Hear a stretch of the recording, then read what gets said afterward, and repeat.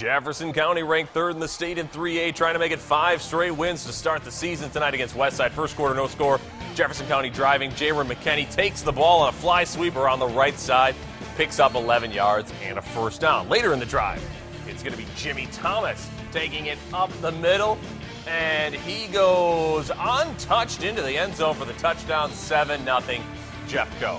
Jefferson County driving again. This time, QB CJ Hales finds Justin Davis and he takes it down to the 15 yard line later in the drive. Jenkins drops back to pass. He gets hit but stays on his feet, finds Nikel Stone open in the end zone for the touchdown.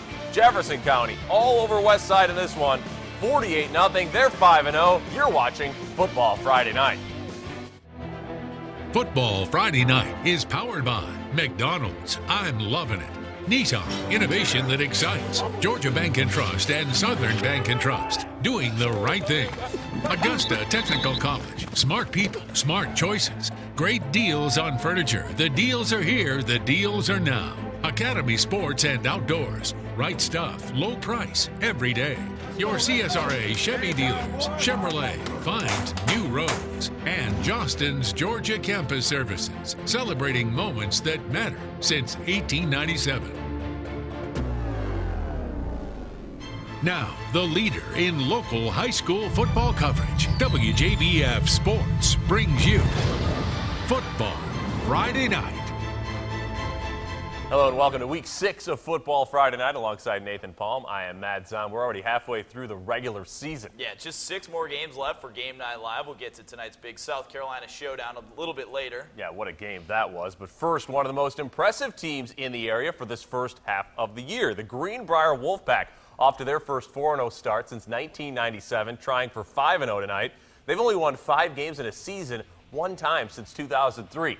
Wolfpack hosting their old 5A region rival Cross Creek tonight. Razorbacks off to a 3 1 start, but down 7 0 to start the second half.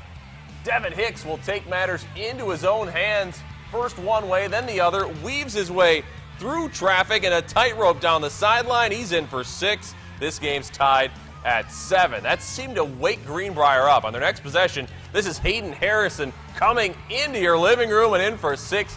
It's 14 7 Wolfpack. After a Razorback three and out, the Pack go back to work. This time, it's John Waters. Another touchdown, and Greenbrier extends the lead to 21 to 7. Still in the third quarter.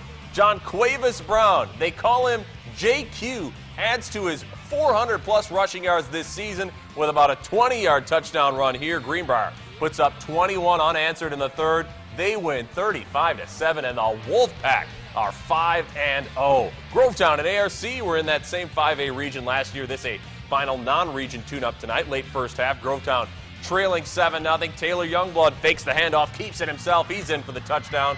Warriors tie this one up at 7.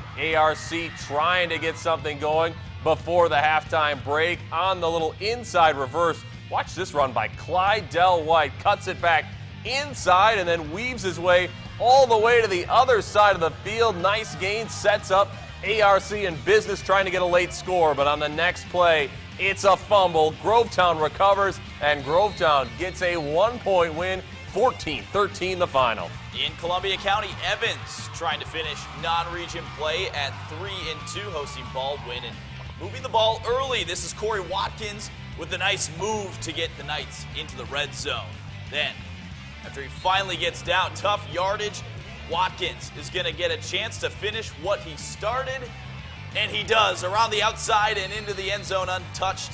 But Evans, or Evans does go on to win 21 to 6 over Baldwin at Lakeside. The Panthers still looking for their first win of the season, hosting 3 0 Richmond Hill, led by former Aquinas co- coach Matt Lazote.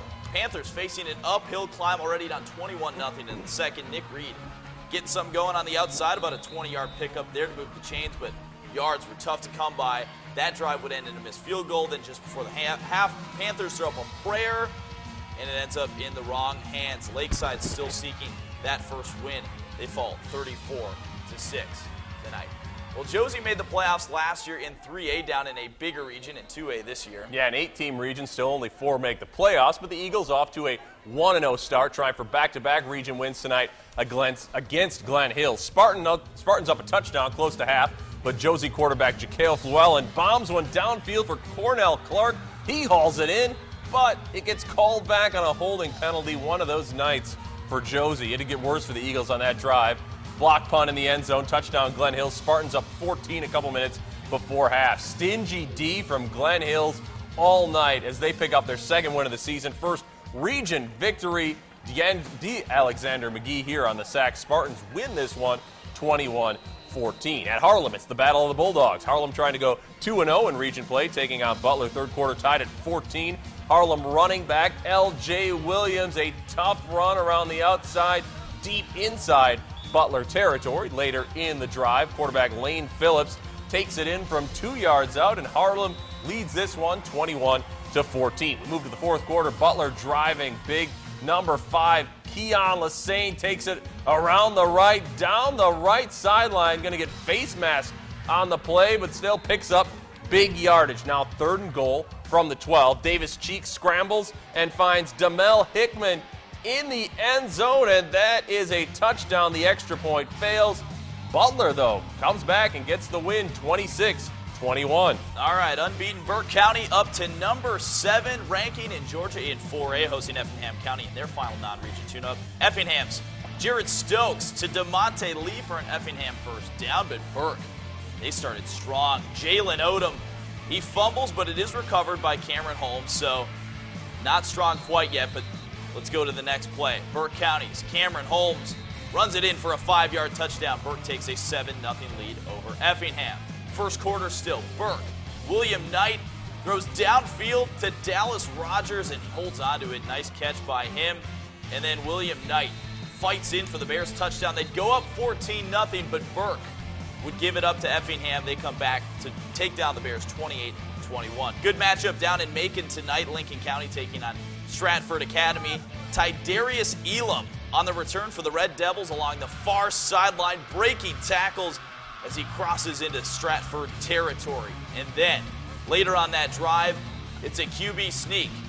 Javon Reed punches it into the end zone, and Lincoln County is on the board. Stratford would capitalize on a botched punt, a snap on the punt, and a fumble from Lincoln County, though. But then Javon Reed hits Quintavious right on the outside. He beats the defender, goes the distance. Unfortunately, they fall to Stratford 35 19 tonight.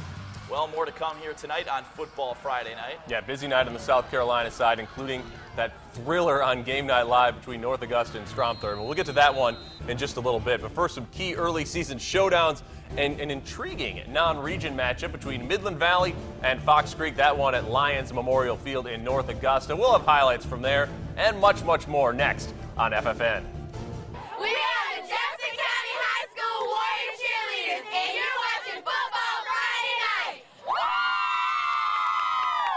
Supporting high school athletics, McDonald's, proud sponsor of Football Friday night.